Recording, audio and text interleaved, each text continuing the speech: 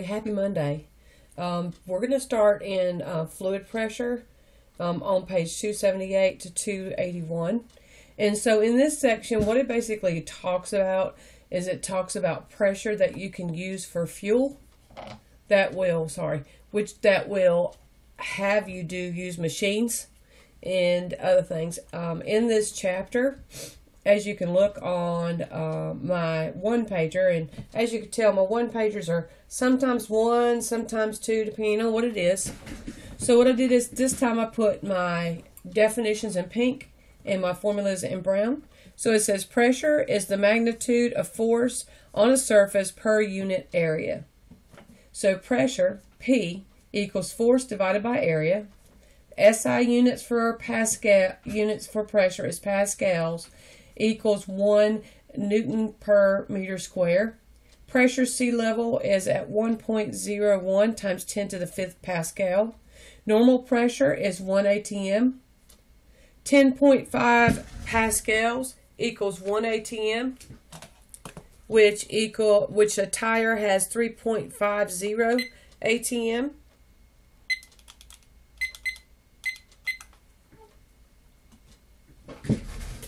And the Pascal principle is the increased pressure it distributes throughout.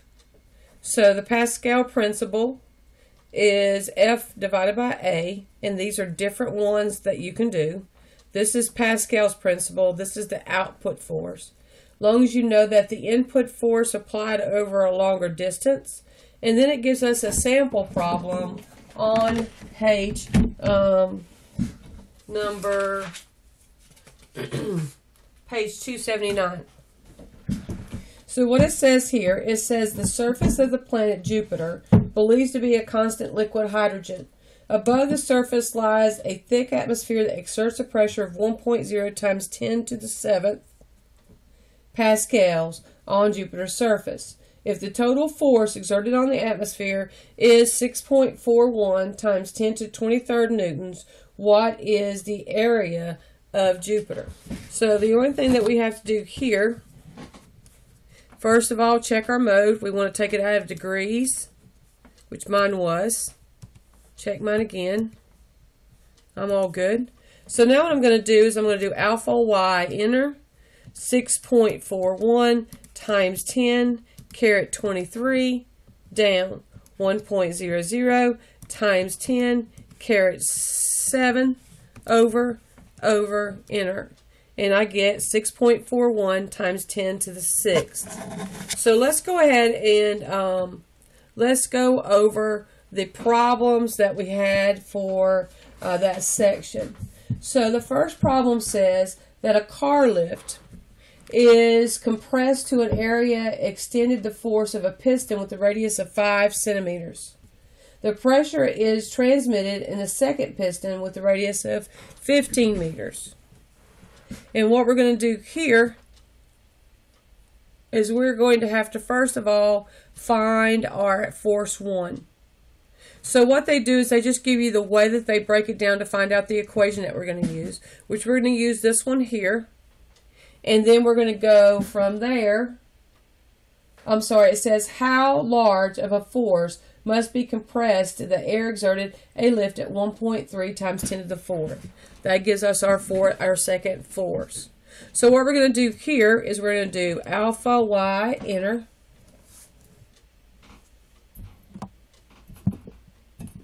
There we go.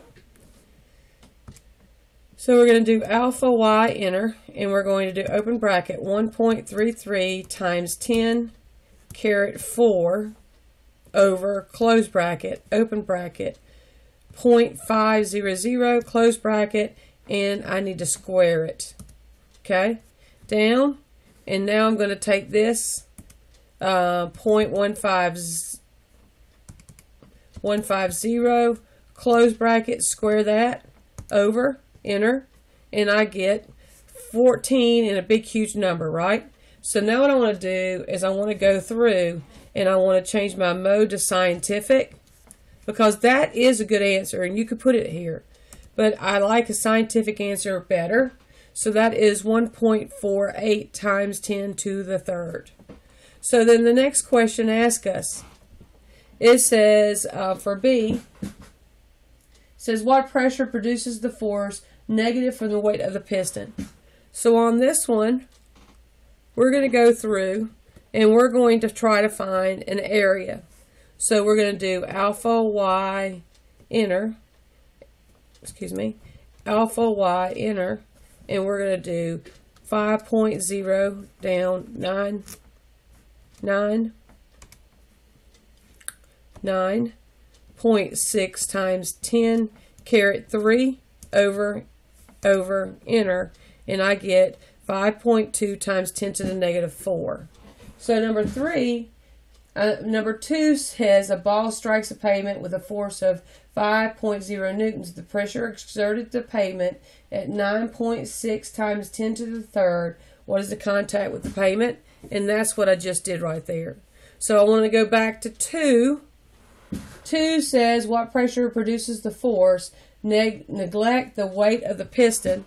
This time I'm going to use this formula here, which is alpha y inner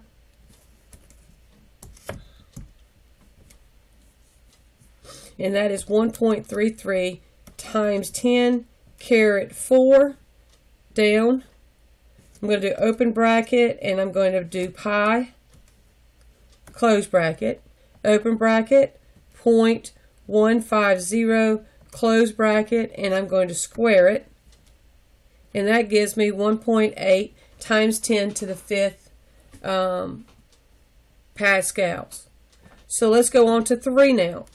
So number 3 says, and I'm going to skip everything. It says the force exerted on the atmosphere of the surface of Mercury reservoir equals the weight of the mercury in the column. If the mercury column is 70, 760 millimeters of mercury, and remember in chemistry, when we used this, we did mmHg, right, for millimeters of mercury, of, uh, of the surface, which the atmosphere pressure over mercury. Use 1.13.6 times 10 to the third kilometer to density of mercury. So I have this. This is telling me the density was just the pressure, and I'm going to use gravity for my next one. So then the only thing I'm going to do is I'm going to take 13.6 times 10 caret 3.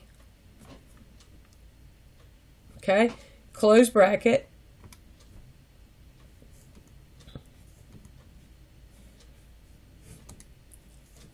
And then I'm going to do, um, let me go back here and clear that. Here, oh, let me go back up. Oh.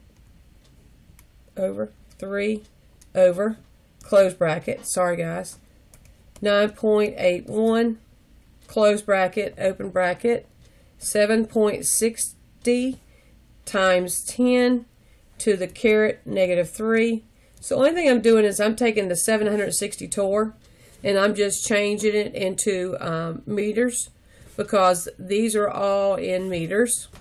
And if I hit enter, I get 1.03 times 10 to the fifth kilopascal.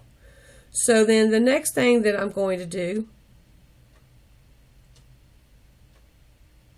is I'm going to go ahead and I'm going to show you the rest of the calculations.